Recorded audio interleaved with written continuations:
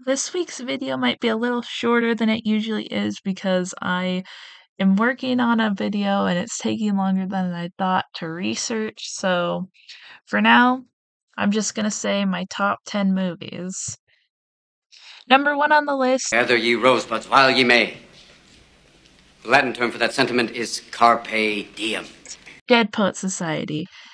First off, Robin Williams. What more can I say? That's a reason enough for this to be number one on the list. Like, it's it's just number one. Like, I just love it a lot. Okay. Um. Number two. The little voice. Remember the little voice? Just, just for a second, imagine that you have one. What would it be saying about Chell? Oh. Road to El Dorado. Miguel and Tulio's dynamic in this movie, like they mesh so well together, and it has a great soundtrack, great animation. It's just a great movie. Number three. Come on in. The, the, the water's great. no thanks. You weenie. Come on in. It's really, really refreshing. What?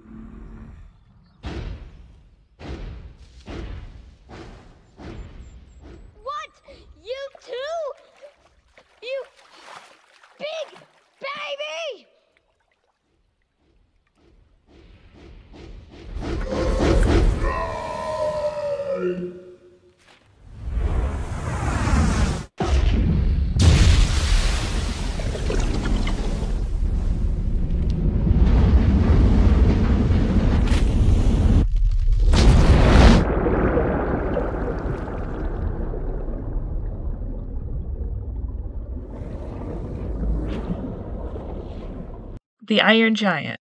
Great message.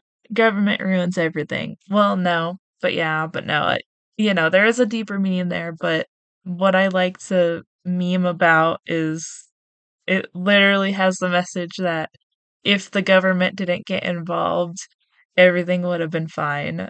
And why why does the antagonist of this story have a good name? Like he couldn't have had a name I didn't like, but of course he has to have the name he has. Anyways, it's also set in the 50s, and I don't know, I just like that.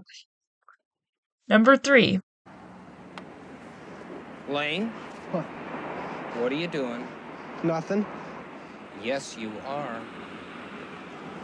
Oh, buck up, little camper.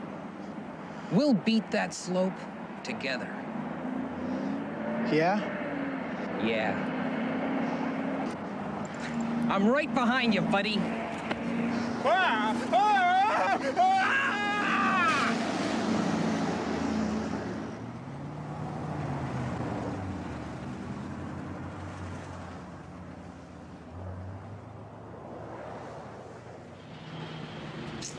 Man, now that's a real shame when folks be throwing away a perfectly good white boy like that. Better Off Dead. Um, great memes came from this movie, great quotes. Um, great, great movie. It's got French people and skiing. What more is there to want? Next up, number five.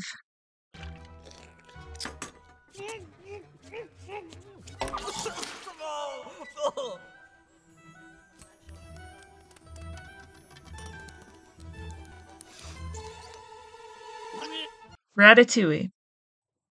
Um, this has a great message too.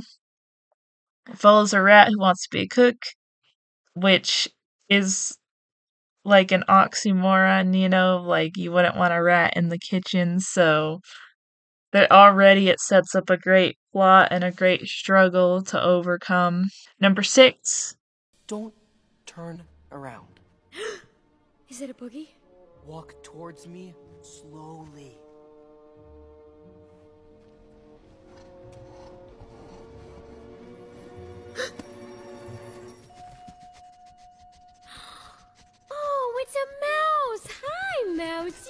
gonna scare it away.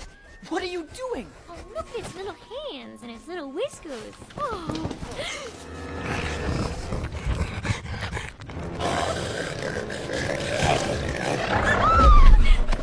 Epic.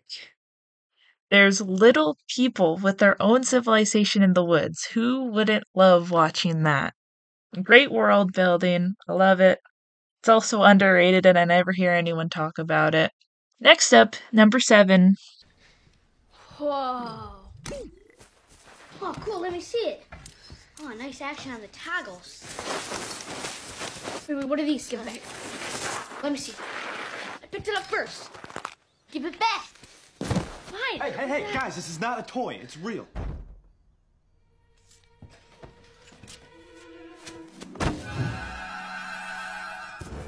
Ricky?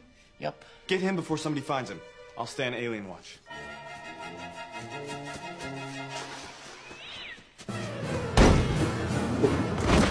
Aliens in the Attic.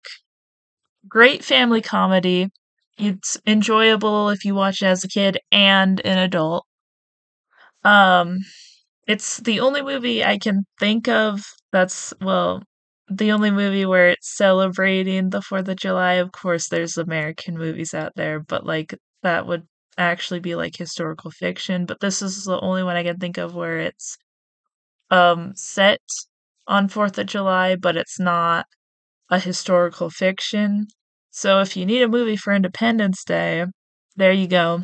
It's also got an epic fight scene in with grandma included. Um and an amazing end scene.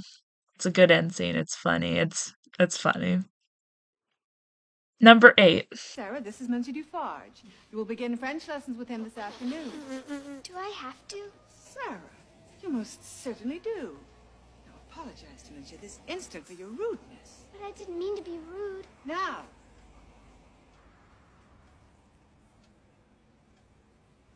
Monsieur, je regrette. Mais je sais parler français. J'ai étudié en Inde avec mon père, qui habitait à Paris quand il était un petit garçon. This child doesn't need to learn French. She practically is French. Says she learned it from her father. I understood perfectly well what she said. A Little Princess, the 1995 version. It's a meaningful film, great message. It's a remake, which proves that not all remakes have to be bad, because so many people prefer this one. Another honorable mention is The Secret Garden, and I have to include that in there because I used to watch this movie, which was in a like two disc set, and The Secret Garden was the other one. Um, The Secret Garden is kind of underrated as well because I feel like it's kind of overshadowed by A Little Princess. Anyway, moving on. Number nine. But it's so simple. All I have to do is divine from what I know of you. Are you the sort of man who would put the poison into his own goblet or his enemy's? Now, a clever man would put the poison into his own goblet because he would know that only a great fool would reach for what he was given. I'm not a great fool, so I can clearly not choose the wine in front of you. But you must have known I was not a great fool. You would have counted on it, so I can clearly not choose the wine in front of me. You've made your decision then? not remotely. Because iocane comes from Australia, as everyone knows. And Australia is entirely peopled with criminals.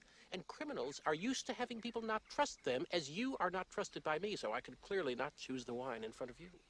Truly, you have a dizzying intellect. Wait till I get going! Where was I? Australia. Yes, Australia. And you must have suspected I would have known the powder's origin, so I can clearly not choose the wine in front of me. You're just stalling now. You'd like to think that, wouldn't you? The Princess Bride. Great humor, great casting, great story. Seriously, if you haven't watched it, go watch it. You won't regret it. It's amazing. It really is. And now, number 10. Last but not least, because this movie is amazing.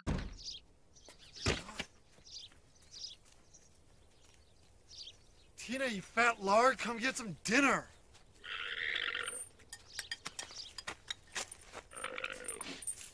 Tina, eat. Food. Eat the food!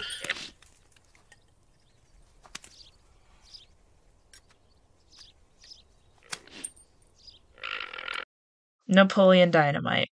Again, great humor, casting, and storytelling. And it was made, they didn't think it would be a big hit, and it absolutely was. And it's, it's amazing, yes. And it's all this one also has a great end credit scene. If you haven't watched it, because I think I've missed it probably the first couple times I watched it, it's a great end credit scene.